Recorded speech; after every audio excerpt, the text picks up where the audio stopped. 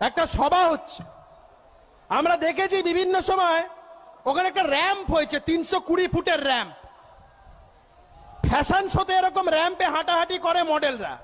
আজকে চোরেদের fashion show হচ্ছে ধর্মতলায়। সব চোরেরা হাঁটাহাঁটি করছে। আর ফ্যাশন শোতে সবার শেষে যে আসে, তাকে বলা হয় শো স্টপার। এখনও শো স্টপার ঢোকেনি, একটু পরেই শো স্টপার ঢুকবে। চোরেদের সমস্ত চোরেদের মাথা সেই মঞ্চে ফ্যাশন শো করতে, সেই মঞ্চে চোরেদের ফ্যাশন শো স্টপার হয়ে ঢুকবে। আমরা দেখতে পাচ্ছি গোটা রাজ্য জুড়ে কি চলছে। অরাজকতা, বিশৃঙ্খলতা, চুরি, ডাকাতি, খুনি, রাহাজানি। আমরা জানতাম যে অনেক কিছু ছোট ছোট জিনিস যেগুলোকে অনুবীক্ষণ যন্ত্র দিয়ে দেখতে হয়। কিন্তু বিশ্বাস করুন এমন কোন অনুবীক্ষণ যন্ত্র এখন অব্দি বিজ্ঞানীরা বার করতে পারেনি, আগামী দিন পারবে কিনা জানি না। যেই অনুবীক্ষণ যন্ত্র দিয়ে তৃণমূল কংগ্রেসের মধ্যে ভদ্রলোক খুঁজে পাওয়া যাবে। তৃণমূল কংগ্রেসের মধ্যে ভদ্রলোক খুঁজে পাওয়ার জন্য যে অনুবীক্ষণ যন্ত্র দরকার, সেই যন্ত্র এখন চোরেরা, এখন বিজ্ঞানীরা বার করতে পারেনি। এই এত চোর, জোচ্চোর, সবাইকে বাঘ, সিংহ, এই সমস্ত বলা হচ্ছে। মুখ্যমন্ত্রীকে আমরা দেখছি, এই রাজ্যের মুখ্যমন্ত্রী চোরেদেরকে এখানে আড়াল করতে নেমেছে। যাদের বাড়িতে ইডি যাচ্ছে, যাদের বাড়িতে সিবিআই যাচ্ছে, মুখ্যমন্ত্রী তাদেরকে আড়াল করার চেষ্টা করছে। তার কারণ কি? মুখ্যমন্ত্রী জানেন, তার দলের নেতারা জানেন, এই সমস্ত লোকেদের ধরা পড়লে সিবিআই জামাই আদর করবে না, এমন আদর করবে, মাথার নাম বলবে। যখন মাথার নাম বলবে পিসি ভাই তখন পালিয়ে পথ পাবে না। সমস্ত রাজনৈতিক দলের লোকেরা বলছেন যে বিজেপি কেন কিছু করছে না?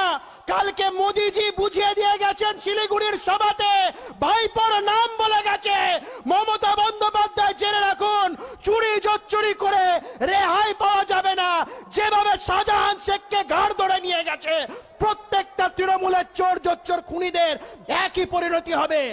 আমি আমার কামানো মাথার চুলের কসম কে বলছি, এই বাংলার মানুষের জন্য ভারতীয় জনতা পার্টির প্রতিটা সৈনিক, প্রতিটা কর্মী রাস্তায় নেমে এই অত্যাচারী শাসককে উৎখাত করবে।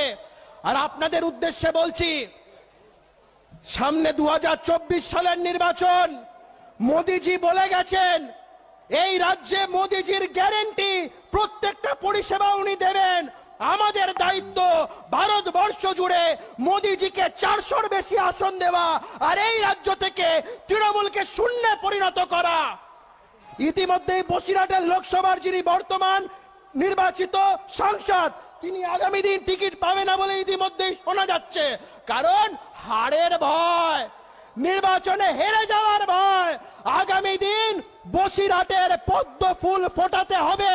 আগামী দিন বসিরহাটে পদ্ম ফুটবে তো আগামী দিন বসিরহাটে পদ্ম ফুটবে তো আগামী দিন বাংলার বিয়াল্লিশটা লোকসভা কেন্দ্রে পদ্ম ফুটবে তো আমাদের মাননীয় প্রধানমন্ত্রী বিশ্বের সর্ব জনপ্রিয় নেতা মাননীয় শ্রী নরেন্দ্র মোদীজি বলেছেন, উনার গ্যারেন্টি মানুষকে পরিষেবা পৌঁছে দেওয়ার, আর আমরা জানি এই রাজ্য থেকে চব্বিশ সালে তৃণমূল কংগ্রেসকে শূন্য করতে পারলে ছাব্বিশ অব্দি অপেক্ষা করতে হবে না।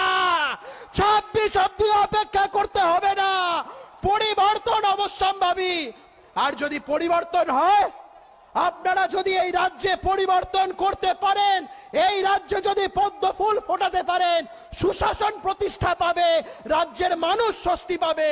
আর সর্বশেষে আমার মাথার চুলটা গজাবে। সবাই ভালো থাকবেন, সুস্থ থাকবেন। সন্দেশখালীর মা বোনেদের আমার প্রণাম, সেলাম, ভালোবাসা। এখানে যারা মঞ্চে উপস্থিত, যারা নেতৃবৃন্দ আছে, সকলকে আমার প্রণাম। আর বিজেপির মঞ্চে এটাই আমার প্রথম বক্তৃতা। আমি শুধু একটা কথাই বলব। আমি রাজ্যের মানুষের স্বার্থে মাথার চুল কামিয়েছি। এই অপশাসনের বিরুদ্ধে নির্যাতিত হয়েছি, অত্যাচারিত হয়েছি। এখন আমি আপনাদের আমি আপনাদের শরণাপন্ন। আমি আপনাদের এই বিজেপি পরিবারের শরণাপন্ন।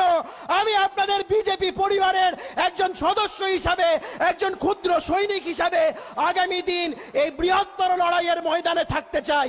আমার কোনো দাবি দাবা নেই। এখানে সঞ্জয় দা আছেন, আমি যখন যোগদান করেছিলাম, আমি বলেছিলাম আমার একটাই দাবি, এই যে লড়াই, এই লড়াইয়ে আমার যেন একজন ক্ষুদ্র সৈনিকের ভূমিকা থাকে। সবাই ভালো থাকবেন, সুস্থ থাকবেন। জয় হিন্দ।